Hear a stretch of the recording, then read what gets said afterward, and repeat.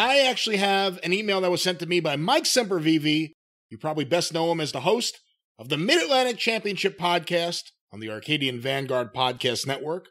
You might know him best that way, but I know him as a longtime wrestling correspondent, a journalist, even.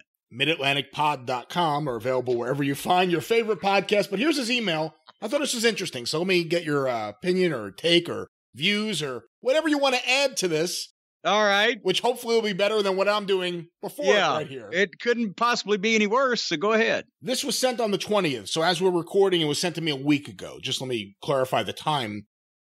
This past week marks the 35th anniversary of the Midnight Express's debut in the traditional end of Jim Crockett Promotions, appearing on the TV tapings in Greenville and Shelby August 12th and 13th. After coming from Dallas, where you worked many small towns, which were often on their ass and almost always against the Fantastics, did you get a feeling of deja vu coming to Georgia and working small towns such as Blackshear or Jasper, which were often on their ass, and almost exclusively with the Sawyers, who couldn't have been as easy to work with as Tommy and Bobby, the Fantastics? Oh, um, I, I know I know well I know he has other questions because you prepped me on the on the email on this one, but I want to address it because we'll get confusing and and it'll people will lose track of the first question. Um, we had just come from Dallas, and the reason why we went to Atlanta instead of going to Charlotte was because when Vince had taken over the TBS time slot in 1984, there had been such a backlash from the fans. We, you know, where's Gordon Solie? We want our fucking NWA wrestling. What the fuck is this? It was it was a complete style mismatch, and and people didn't get it. WWF wrestling suddenly on TBS. So Turner hedged a little bit by giving Ole Anderson, who had been obviously Ole was at that time the owner of Georgia Championship, the majority owner of, uh, or he had been until fucking Vince took it out from under him. He'd been running the Georgia office. So Ole got an early morning time slots, I think 7:30 it wasn't it on Saturday mornings for an hour of championship wrestling from Georgia. And he had brought in a lot of talent. Lawler came down and worked a lot of talent from Memphis because that was the territory right up on top of him, and and other you know NWA territories, Southern territories sent some guys. And finally, after what close to a year or so, not even maybe, um, Crockett made the deal with Vince. Vince needed to finance the first WrestleMania. Crockett gave him a million dollars for the TBS time slot, and Vince brokered by Jim Barnett. Brokered by Jim Barnett. And Vince took that money and financed the first WrestleMania, and Crockett had the national TV, which, uh, and then there's a side story in that that Turner had promised Bill Watts because Mid South Wrestling, then also he put on TBS on Sunday afternoons. It was getting better ratings than everything. And he was going to go into business with Watts, but when Crockett came calling, he reneged on the deal with Watts, or we could have seen Watts fighting Vince, which would have been actually probably hella interesting. But anyway, when you say better ratings than everything, not just everything in wrestling, it was the highest rated show on cable television. Yeah. Mid South Wrestling for what, three or four months there, that run on Sunday afternoons was the highest rated show on cable television. Anyway, when Crockett took over TBS, Ole still had a show and still had an office. They had an office in Atlanta. They had uh, towns booked, building contracts. So I don't know all the financial and paperwork uh, you know uh, arrangements but Ole was welcomed because Ole had been booker and top star for Jim Crockett for the previous, you know, fucking 20 years. So Ole was welcomed back into the fold and they were going to try to run the Atlanta office with all with the TV contracts they had um, in in Georgia and and you know the the the buildings they had booked. They also Georgia had been the first ones to do the northern tours off of TBS. So Georgia back in '81 had started going to Ohio, West Virginia, and Michigan. The Sheik's territory that he had let let languish after he'd gone out of business. And the Georgia office had been doing better business there for a few years than they were in Georgia. And then that went downhill too when the TV was taken off and the the television was screwed up and blah blah blah. So the point is, you had the Charlotte end of the territory that was the traditional uh, uh, schedule, and then you had a crew of guys in Georgia fulfilling those dates and the arenas that had been booked and etc. And Georgia was on its ass, and that's where they moved us to because Dusty didn't want to bring us right into Charlotte because he had established the Rock and Roll Express. In July, they came in and beat the Russians for the World Tag title their first night on television. And he wanted to keep the Rock and Roll and the Midnight apart for six months so that he could build the Midnight separately. So he thought, well, it'd be a good idea. We'll put them in Georgia We'll let them get over down there. They'll be on TBS, and then we'll start bringing them to the syndicated televisions that we do in the Carolinas. And by the end of the year, we'll fold both territories together, and they'll be up here, and then we pull the trigger on the express angle. well, the only optimistic part of that was they thought that the Atlanta end could limp along for six more months, and it couldn't. Um, Mike's question coming from Dallas, where we worked many small towns which were often on their ass, that's actually not particularly accurate. The towns in Dallas, even then in 85, after the boom period had started to settle down, that were on their ass were all the towns in South Texas. The old uh, San Antonio territory towns that they were trying to run Corpus Christi, Laredo, um, my God, Harlingen, right down there on the border and these spot shows. We've talked about um, that one time we were at a spot show in south texas like uh, 30 miles from the mexican border in a tin shed in a mud field with a sign on the front of it on a sheet that spray painted wrestling tonight right? Those towns were shitty. Um, and West Texas was not doing real good because that had been traditionally the the the funk territory and and you know they had taken it over and it did okay with the Von Erichs and the Freebirds, but when that cooled off, they didn't keep track of West Texas. The Guerrero still promoted El Paso, and that was a real good town, but Amarillo and Lubbock. Nick Roberts was at that time not exactly a fireball promoter, and uh, oftentimes you would see him sleeping in the ring trailer. So, but the small towns around the Dallas area were fucking incredible you know, you'd go to to a, I remember one time Grand Prairie, Texas, was in the Metroplex, literally ten miles from our apartment. We did sixteen thousand dollars. That was two thousand people at those ticket prices. Um, anything in the Dallas Metroplex was cooking, and anything out of it wasn't. So, unfortunately, when we moved to Georgia, nothing was cooking. The Omni got everybody. They got all the Crockett guys and everything, but the Georgia towns just got me, you know, the Midnight Express, Buzz and Brett Sawyer were a top heel team. Pez Whatley, um, uh, the Italian Stallion, all the guys that they were given. Ray Candy, I think, was still. No, it was the last time I was in Georgia. Ray Candy was still there. Anyway, it was that those towns were rotten, and it was our job to work with Buzz and Brett Sawyer every night in these in these shows because they were to put us over and establish us as a top heel team. And Brett Sawyer was fine. He, you know, he was an okay worker and an okay guy, and you know, nothing wrong with him. Buzz was a tremendous worker when he wanted to be, in a complete mental case, and a fucking drug addict and a prick. And he knew that they were finishing him up because eh, Dusty was finishing him up and going to move him out.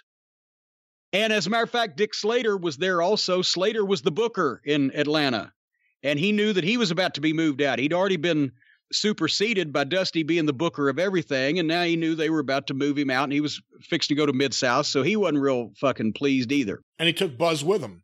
And he took Buzz with him, and thank and not and actually Buzz no showed. Ended up, I think they left a couple weeks early because they didn't want to. He Buzz didn't. Brett didn't care. Buzz didn't want to do the fucking jobs. And Buzz was still thinking it was three years before when he was the top heel in Georgia, and it wasn't. And there was this one night, and I've told this story before, but it's been a while, in this rodeo arena in somewhere in suburban Atlanta. I can't remember goddamn what the town was, but it was literally where they had rodeos and a building where they had rodeos and cattle shows. And at the time, um, Dusty had had a meeting with all the talent. As a matter of fact, that that goes into the second part of the email, which I have now pulled up in front of me, so I'll I'll help you with. Uh, after that first question, uh, Mike continued. You knew how exciting the North End was getting. Actually, it was the East End, Charlotte's east of Atlanta. But did you ever do any second guessing, especially in the two weeks before Dusty met with you at TBS Studios on July 13th to basically give you a vote of confidence and to reiterate that the team always goes over no matter of the match or situation? Actually, Dusty didn't meet with us to do that specifically. He called one of his meetings at TBS for the entire roster and he would uh, let them know things that were going on that they needed to know. And one of them, he said, I want to welcome the Midnight Express and Jim Cornette. They're coming in. They're going to be a top heel team. I want to let everybody know from this point on, they're going over. No matter where it is, they're going over. They're going over till I stay different. They're going to win everything. Because he wanted all the boys to know, right? Well, it wasn't long after this meeting. We're at this rodeo building and fucking Buzz is selling so he can give Brett the tag because Buzz didn't want to do the job. So Brett do the job. Buzz had to sell. So Bobby Eaton brings Buzz over to the ropes and he's choking him over the rope. And Bobby gives me the Iggy and he takes the referee. So I come over and I give Buzz a shot to the neck with the racket. Boom. Well, and they work for him another minute and then they come over and Bobby's got Buzz on the ropes again and it's the same fucking thing. And as he backs up, I'm going to go take another little poke to get some heat. And Buzz out of nowhere. Oh, and also Dusty in the meeting said, and nobody touches Jim Cornette until I say so. Because he didn't want anybody taking the heat off of me. I think he was probably talking to Buzz Sawyer at this time. As I go up to give Buzz another poke, Buzz comes from I don't know where the fuck with his right hand and slaps me, but he didn't slap me in the cheek. He slapped me in the flat of the face, right on my nose, because I didn't know it was coming, so I didn't feed him for it. He just took the whack. Fuck, nose starts bleeding. I'm like, motherfucker. And I fucking got hot, and Bobby gets back on top of him. He's choking him. He's like, You're not supposed to touch corny. I'm like, Fucking, I don't care. I took that racket and bent it sideways and whacked that fucking dog faced motherfucker about four times right across the goddamn fucking forehead with it, sideways with the frame. And he got hot. And now he's trying to crawl out from under Bobby Eaton to come out there. Well, you hitting me like a mark. I said, You just hit me like you're a mark. So, anyway, um, they finished the fucking match, and we go back in the heel trailer. We're dressing in trailers. I mean, like, uh, uh, not to Winnebago trailers, not like giant trailer trailers. And we go back in. Now, what the fuck's with his fucking, you know, what's his problem, right? And fucking Bobby and Dennis and with the referee, I think Mike Fever, I think it was. We're the only ones in there. All of a sudden, we hear this, and there was a wooden box that they put next to this Winnebago that you stepped up on and then opened the door and come in. You've you've been in a Winnebago, right? Here comes Buzz Sawyer. He clomps up on that box and he fucking opens the door and pulls the door off the Winnebago. The screen door, not the big one. And he said, What are you fucking hitting me like a mark for? I said, What are you fucking hitting me like a mark for? Right? Now it's Buzz Sawyer, and there's four of us but he's crazy. So Dennis has got his hand in his bag just in case, because if Buzz Sawyer decides to make a further issue out of this, he's going to get shot between the eyes. We normally reserve that fucking uh, for the fans that were chasing us down the highway, but this is a different situation. So anyway, he screams and yells and slobbers a little bit and fucking leaves. And when he goes out, he's already torn. He tore the goddamn screen door off the hinge, right? So it's hanging. And as he goes out, he grabs the door to steady himself walking down, and the door completely comes off. So he misses the step and falls over the goddamn box. And fucking, and then he throws the box and he walks off. And I think that was the night that he, the next day, he just said, fucking, he left two weeks early. Didn't um, you ever run in with Slater as the booker too? Well, yes, that was the week before in Ohio. I think that's another thing that that uh, called this meeting because we had gotten on the Ohio tour and Dusty had already told us we were supposed to go over, blah, blah, blah, right? We got on the Ohio tour and I can't remember, I'd have to get my book out, but it was like, you know, we're in Columbus and then, you know, uh, uh, uh not Akron, Canton, Canton Civic Center, and uh, like Wheeling, West Virginia, that type of mid level market tours that they were doing up there. And we worked with Slater and Buzz one night and go 30 minutes Broadway in the main event. And it wasn't that fucking great. And so the next day, you know, Bobby and Dennis said, well, maybe you better find out, Corny. So the next day, I called the office in Charlotte, not to stooge, but just to relay the information we're supposed to be going over. And we didn't go over. We went Broadway. I see. I'll take care of it. That was Jimmy Crockett because Dusty was on the road. So that night we go in the locker room. I've got the fucking hot dogs from the goddamn concession stand because we haven't eaten fucking dinner. And I'm fucking sitting down with my drink and my hot dogs, and Slater comes in and says, I need to see you, Cornette. Now, fuck, can I finish my hot dogs? I don't think you're going to want to. Okay. I go in the room and, uh, you know, closed up with Slater. I figure, okay, he knocked out John Matuszak, so he can't really fucking fight me, or else it'll make him look bad. So, hey, you made a phone call to the office. I said, Dick, we were told we were brought in here, we were supposed to go over every night, regardless of who or what, and we didn't. So we wanted to know if we'd been given wrong information or by who. And he said, Well, eh, eh, they got a date booked next month, but I, you know, they, they don't tell me what they're they're going to come back with, and I don't know how to figure these finish. It was like if he was going to figure a different finish, but he didn't know what they were coming back with. They're coming back without you, is what they were coming back with, and he knew that, right? So I said, well, I said, no, no, you know, not trying to stir anything up, just want to make sure we're doing the right things. Well, come to me if you have any questions. Which I never had any questions for the next week. He was still there. But anyway, that was the, eh, no, we didn't second guess anything because he told us from the start, we're going to put you here for six months and then get you over on the TV and then feed you in with the rock and roll. And actually, I liked that period of time. We were there in Atlanta for three months. And I liked it because we were home a lot. We had to go on those shitty tours to Ohio and West Virginia, but you go to fucking Columbus on Saturday night and you're it's, it's 90 miles. You're back by 11:30 by midnight, I had a pizza, a big fucking gallon soft drink, and Joe Pedicino's Superstars of Wrestling tape to watch for the next six hours. Almost every Sunday was off except for Marietta. And, uh, you know, Macon was 70 miles, Augusta was 150 miles. So we were there for three months.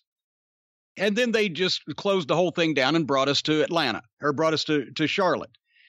So it, it was a nice little you know intermission there but we weren't we're and then like like is in this email they had already brought us up by august for the syndicated tv i think we made our first date at the charlotte coliseum in september october off top of my head. And once we got there dennis had obviously you know early in his career he had refereed in the carolinas and he knew what a fucking huge territory what a big money territory it was. He'd always wanted to go there as a top guy so all the way up there, he's going, Wait you see this place. We walked into Charlotte Coliseum, that 12,000 seats, that round fucking building. And then we see, because we'd been told the territory was on its ass. And the house that night in Charlotte was $60,000. That was a little over 6,000 people. And I looked out and I, I, I, I can't even, it may have been Tully. I was standing there and I said, I thought the territory was on its ass. He said, It is. Because that was half a house within six months, we were selling the fucking thing out. So I, you know, and I heard how those people reacted, and we had an underneath match with a couple of underneath guys and got a good win. But I heard the way the people reacted. I, just, I saw the way they reacted to the matches all night. I said, okay, if this is the real Charlotte territory, we've made the right decision. They're into it. They're ready to go, and they need something different. They want to fucking see and that's what we did and and then it was beautiful. But anyway continue on with mike's uh, or any follow-up of your own. Well i was going to say how long after crockett made the deal with ole did they push out thunderbolt patterson? Because almost immediately. yeah, ole had been using thunderbolt and him and thunderbolt were like a baby-faced tag team. Yeah. And then as soon as the crockett deal went down ole and i think gene who was well past his you know when he should yeah. be on tv at that point turn on Thunderbolt, and then Thunderbolt is just gone. Yeah, well, Thunderbolt kept Ole booked Thunderbolt. Ole liked Thunderbolt at some level. He also realized that of all the money that Thunderbolt had drawn in the entire business in his career, probably 70% of it was in the state of Georgia. That's the one place that you could still get something out of Thunderbolt Patterson at that time because his his work always sucked. I saw him in the 70s and it was a shits. But his promos and just his personality, especially with the black audience, got over like a million dollars. So you worked around it, right? But by that point, the work was worse and he wasn't drawing either. And the promos were had had you know, he only booked him because he liked him and because of his history, but also the way Thunderbolt Patterson got booked in Georgia for the last 10 years of his career was he would come to whoever was running it and threaten to go to the newspapers, talk about racial discrimination, expose the business. Uh, the whole uh, uh, what was the football player's name? The goddamn goofy football player. Help me. I've gone blank. Jim Wilson. Jim Wilson. Jim Wilson he and Jim Wilson were always together. They'll go to and Thunderbolt had buddied up and knew all of the civic leaders and the the uh, civil rights people in town. We'll cause trouble if you don't fucking book us. That, that's flat out the offer that was made. And so the, he kept getting jobs at intermittent times in Georgia, and that was the last one. But Crockett wasn't going to put up with it, and he didn't want him to begin with. So that's where Thunderbolt went. Hey, real quick, because I've mentioned this to you, but I don't know if you've ever actually heard it. I'm going to play you a quick promo. It's not long. This is from 1990. Ole Anderson takes over as the booker, and his first moves are to bring back Junkyard Dog, gets Paul Orndorff in, which I guess was to replace Kerry Von Erich, who decided not to come in, Mr. Wrestling 2 back on TV to be a special referee, and Thunderbolt, for the first time in five years, is on TBS. Wrestling. This is a promo he did this is Thunderbolt Patterson. Amazing intensity. You look at him, you're like, wow, this guy's saying something, but he says nothing. He says nothing. Listen to this and tell me what you think. This is from 1990. Okay. Chef Wrestling gave me the opportunity again to keep my eyeballs on Yoli. You have ruined folks' lives. Not talking about how you dealt with mine in the past, but in the recently, you have been getting on everybody's case. So this Sunday, if you move, if you move, if you move, I am going, if you move, this Sunday, it's time that. Ooh, I'm so full, I'm full up to here. Same old. But they say it's going to be a change. There will be a change. History has already been made. Call somebody. Tell somebody. Only if you move. Just move. Ladies and gentlemen. so again, he says nothing. But yeah, and, and part you had to look at him and look at his eyes. And you had to see him saying it. And when he was jacked up, when he was fucking built in the in the 70s, when he, you know, it was it was something and and he he didn't talk like a wrestler he talked like a a preacher in a black church and it was and that's why when he went with um with Ann Gunkel that's one of the th- thunderbolts one of the things that kept her around as long as she was around because that was a big deal in Georgia to have Thunderbolt Patterson in the early 70s but there, there was one famous story they they used to tell long after he'd left the territory, back in the the seventies TBS days. They would, they were doing the TBS show, and you know how? Remember at the end of the TBS show on Saturday nights, the last two minutes would be an interview segment where they would kind of fill up whatever time they had left, and they'd have the like the group of baby faces out there or the group of heels yeah. or whatever, and they'd plug the. And they were running Carrollton that night. Carrollton, Georgia was a spot show on Saturday nights. And Ole told Thunderbolt, said, just go out and every time we mention Carrollton, it does better. If we don't mention it, nobody comes. But if we just mention we're going to be in Carrollton, you know, then then uh, it, the house is up. And a lot of times, you would just hear one of the guys come out and say at the end of the show, "And tonight we're in Carrollton, Carrollton, Carrollton, Carrollton." Right? The hogs are coming to Carrollton. So they tell Thunderbolt, go out and plug, just plug Carrollton, just plug Carrollton. And he's got like 45 seconds. And Solie gives the mic to him and puts the mic in front of him. And Thunderbolt, he does that thing where he, he wipes his face with his hand and comes over his face and he gets the expression. And then he clenches his fist in front of himself and he takes that deep breath. And then he lets it out. and then a look of anguish comes on his face. And he says, Oh, if I only had time. And they go off the air. All he had to say was, Tonight I'm going to be in Carrollton. But no, he did his shit for 30 seconds and then said, If I only had time. In that, if you move promo, he says one of his, I guess the lines that people remember from Thunderbolt is, I'm full, I'm full up to here. Yeah. Didn't only I'm one say full one, of it. What Can't are you take no more. Yeah, what are you full of? It, well, see, that's the thing is at that point, Thunderbolt was still talking to all the people he'd been talking to for 20 years, and they knew. But for the people now on TBS that's seeing him in fucking Montana, they're like, what the fuck is this guy talking about? Because they didn't know. It all made sense to people who had seen Thunderbolt. He a full up to here. And gonna be a change come, because I'm full. Can't you tell him I'm full? I've had it. It's funny, we talk about 1990 and Thunderbolt, and I'll get back to Mike's question after this, but on the most recent episode of John Arezzi's Pro Wrestling Spotlight, Steve Beverly's on the show. Uh, Pro Wrestling Spotlight then and now, I should say, where we review the original broadcast of Pro Wrestling Spotlight. And they're talking about Thunderbolt being back on TBS all of a sudden. And Steve Beverly just laughs. He goes, You know, I kind of think it's amazing. You would see Thunderbolt at all these things like the Democratic conventions handing out flyers that Ted Turner's a racist. Yeah. Because he won't use them. And now all of a sudden he's back on TBS as soon as they bring him back. But here's uh from Mike's uh, email here. You worked with the only other babyface tag team in the state of Georgia at the time, Pistol Pez Whatley and the Italian Stallion. what were those matches typically like? Pez was a legit college wrestler who had a high motor and several years of experience at the time. But what about Gary Cortinelli, who they seemed to have some hope for at the time? Obviously, he didn't pan out at a higher level, but did you see any glimmers of said hope?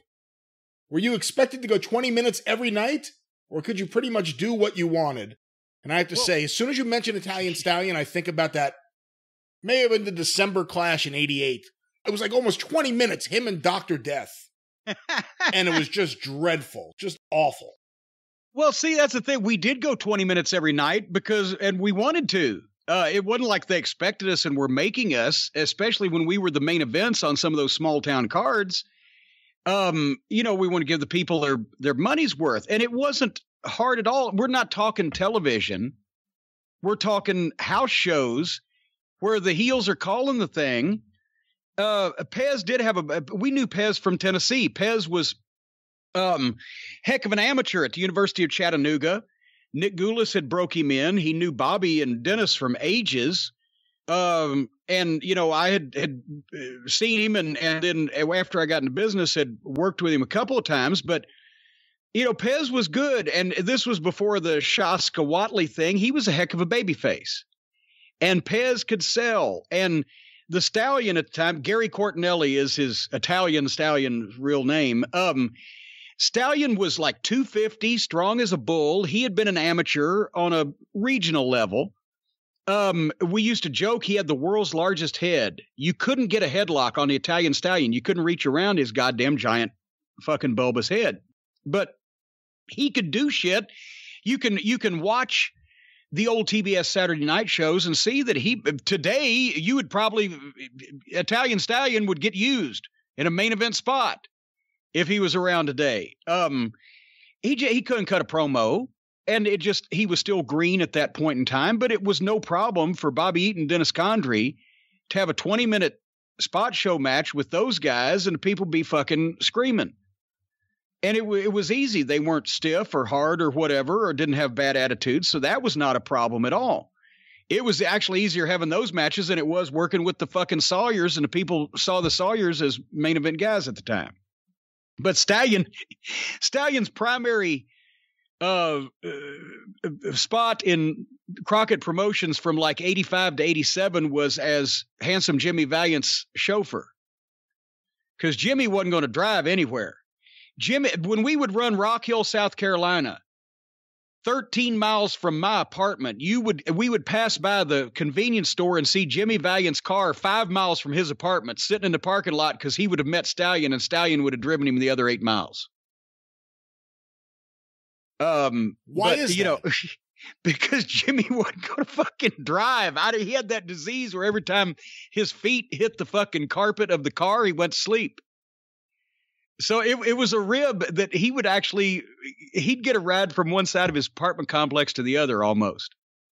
And then also Jimmy and Stal, they knew when they went to the spot shows in the Carolinas down the state roads, they knew the the places in those little towns to stop by trial and error where the people that ran the markets and the groceries and and things were big fans and they'd stop and come out with bag full of free groceries on the way to the goddamn shows. We'd take the interstate and just buy them ourselves. Hey, uh, one But fi- anyway. one final part of this email here. On August 17th to August 23rd, a Northern Georgia tour was scheduled, including two dates planned for Indianapolis and Fort Wayne, Indiana.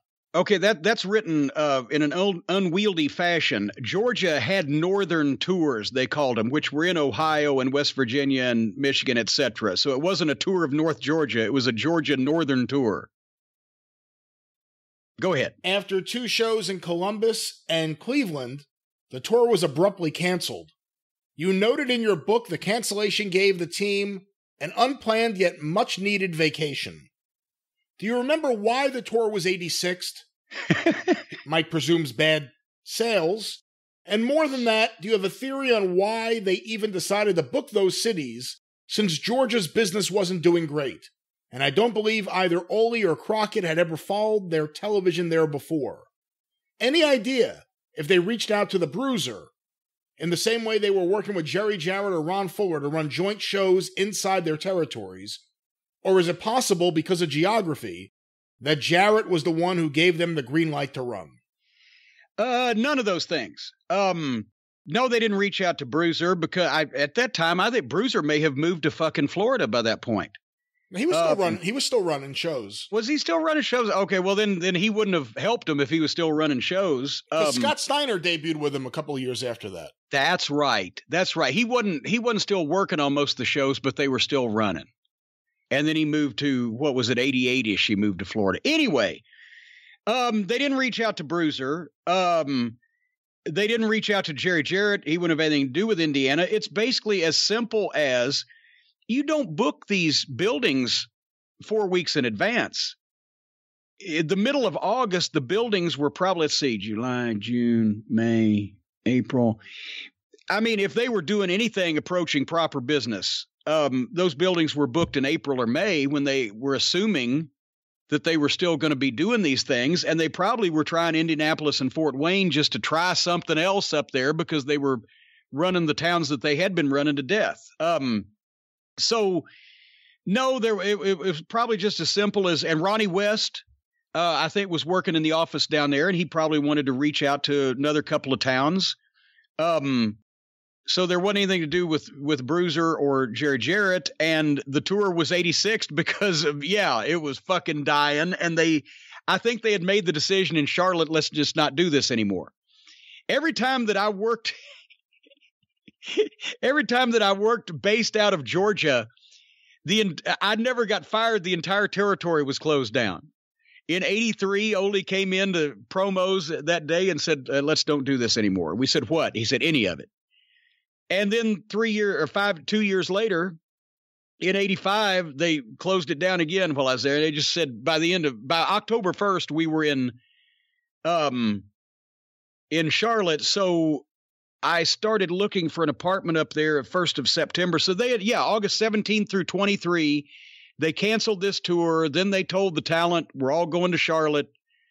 October the 1st, be there. And that, because here's another thing. While I was working Atlanta, the one pain in the ass was I was having on Wednesdays, the last month or so that I was there, to drive up to Charlotte to be there at nine o'clock on Wednesday morning and do the regular Charlotte promos that the guys in Atlanta didn't have to do. So if I'd get a day off on a Wednesday, I'd still have to fucking go to Charlotte and, and do promos for six hours for free and a four hour drive each way. So that wasn't a lot of fun. But anyway, and then everything just merged together uh, on October 1st. And by by January, we did the angle with the rock and roll. By February, we were in the ring with them on the house shows and did the biggest business run of our lives. So I was not at all unhappy. We we I could have done without renting that extra apartment for 3 months, but what the fuck? We had a little rest, right? Right. Right? Right. Right. Yeah. But Dusty saw 84 Mid South and said, How do I get everybody? Yeah. How do I get everybody in here, baby? Everybody. And and that and that's the thing, you know, it it just Atlanta um a lot of people assume that Atlanta had been a healthy territory right until Vince took the TV. And that's not true. Atlanta had been hurting for about a year, year and a half. That's how he was able to slip in there and and and get the Briscoes and other people to to sell their stock because the uh, one of the big things was when they closed the city auditorium. Um, Ole's booking in the early 80s in Atlanta was a little uh, off the charts over you know he was all over the place but it, they still had such a great wrestling tradition but when they had closed the city auditorium which was what 79 80 uh, thereabouts the only place they had to run was the Omni in the whole town the city auditorium was where they could go weekly and then do one Omni show at the big building a month. But they couldn't go weekly at the Omni. They couldn't afford the rent, and you couldn't put that, you know, you couldn't fill it. So they were left with running the Omni every two or three weeks and doing bigger shows, which cost more and had to bring more guys in.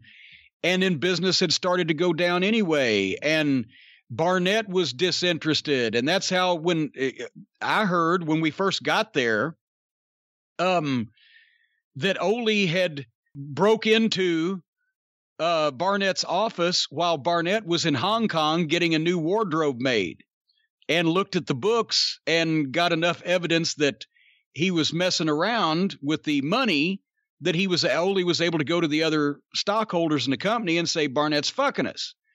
Barnett's defense was that he put money in it all the time or found money to put in it when it was bad, so he took some of the money out of it when it was good. but once they lost Barnett, you know, Ole was great at just running the wrestling business, but he wasn't personal friends with the goddamn president. He didn't know all those people, and he uh, was not the darling of Ted Turner that got you know wrestling on his station and saved uh, the promotion and all that stuff in years before.